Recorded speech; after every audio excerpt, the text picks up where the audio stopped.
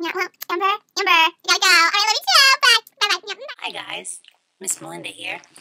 Um, wearing a fancy crown today because we're talking about the Queen. Hi, my name is Chelsea Day Day, and um, I'm here because I love a good story. And today you guys have a really good story for and the winner is and I found this crown, and I decided that I wanted to be queen. Story today is the story of Queen Esther. The story of Esther is in the book of the Bible named. Esther. Imagine that. I just think it'd be pretty fun to be queen. You could just go around all the time telling people what to do. I want to show you something because Esther is kind of tricky to find in the Bible. Well, here's my Bible. The story of Esther happened before Jesus came to earth. So it is in the Old Testament. That's the front part of your Bible. If you cut if you slice your Bible right down the middle and open it up, you'll probably be in the book of Psalm. If you go a little bit over this way, you'll see the book of Job, and right before Job is the book of Esther. Um, I think we have a problem. Help! My name's Chelsea Day Day. I'm glad to be here with you today, Day. well, Queen Esther was queen of a place called Persia. I like to think of a cat purring. she was chosen queen because she was beautiful. I don't really know much about what in the world a queen does. So, I brought my friend Kyle here. Kyle?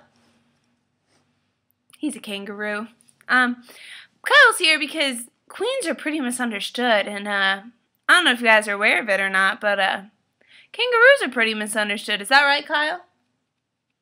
Well, you see, a lot of people think kangaroos just jump around all the time, like we're like Tigger some crazy little Energizer Bunny, and that's just not true. Some people think kangaroos are scary, like we're gonna box your face off or something, and uh, that's not true either.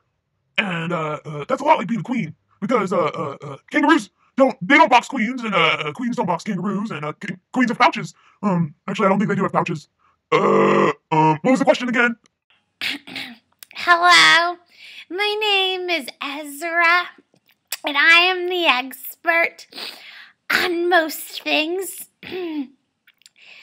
And back in the days of the Bible, the queen didn't rule the land per se. the queen the queen was chosen by the king and the king ruled the land. And that's that's the truth. So you're going to need to know some characters. There's the king, and then there's the Queen Esther, and then there's a guy named Mordecai. Mordecai was Esther's cousin. Oh, I've heard of Mordecai before. That's right. Mordecai. Uh, yeah, because sometimes I'm hungry and I want more to eat, and sometimes I'm not tired and I want to have more playtime and more Mordecai. I don't really know what Kai is, but I guess it's really good because people want more of it. Mordecai. okay, I don't really know. Esther was very interesting because Esther was a Jew, and Jews were the chosen people of God. And the king didn't know she was a Jew. You know, sometimes when there's people that are special, they kind of get some enemies. And the Jews were that way too. Mordecai heard that an evil man who worked for the king had made a plan to kill all the Jews. Yeah. Kill all the Jews. Yeah. Kill all the Jews. Yeah. Wow, that's pretty scary that someone would want to get rid of all the Jews. I don't know what I'd do if someone wanted to get rid of all the kangaroos. Oh man, that'd be real scary. Who would be in this world to put things in their pouches? Oh man, I don't want to think about that.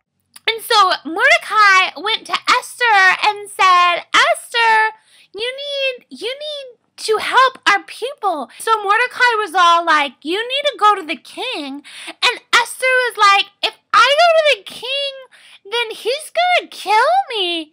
To see the king was a special, special, uh, special privilege. It was a special privilege. Like, you walked in and the king could bow his scepter to you, and if he bowed his scepter to you, then you were okay. Wait, what's a scepter? Scepter is a long, fancy king stick. Maybe it looks something like this. Well, so Esther said, okay, well, you go tell all the Jews to go and pray. And so after three days praying,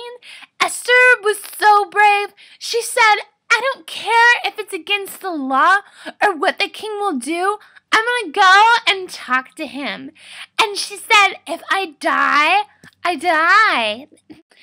So Queen Esther went out and she put on her royal robes and she went to see the king, knowing that she could die. And and the king saw her and oh, this is for me. I gotta take this. Sorry. In the story of Esther, we see the king having a lot of authority over his kingdom and even over his queen. It's kind of hard to imagine having one man that has so much authority that whatever he says goes. If you think about it, the authority of even one king is nothing like the authority that God has over this world. My name is Ezra, and I am the expert on most things. And um, God in the Bible is called the King of Kings. He has more power and more authority than all the kings of the world combined, like casseroles. Our memory verse for today is Romans chapter 8, verse 28. Hello, my sisters and my brothers too. I have some memory work for you. It's from Romans chapter 8, wahoo, verse 28.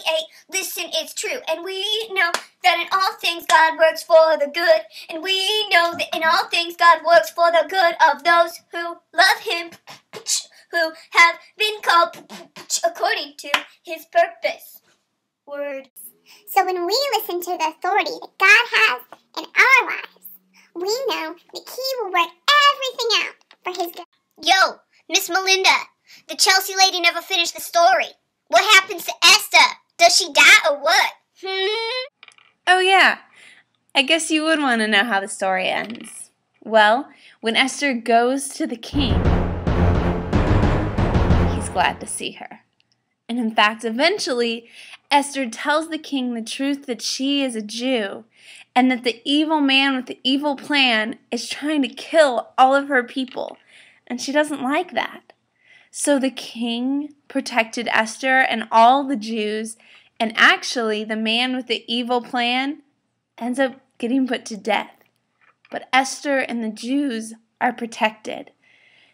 All because Esther respected the authority that God had in her life. Stand to praise the Lord. We stand to praise the Lord.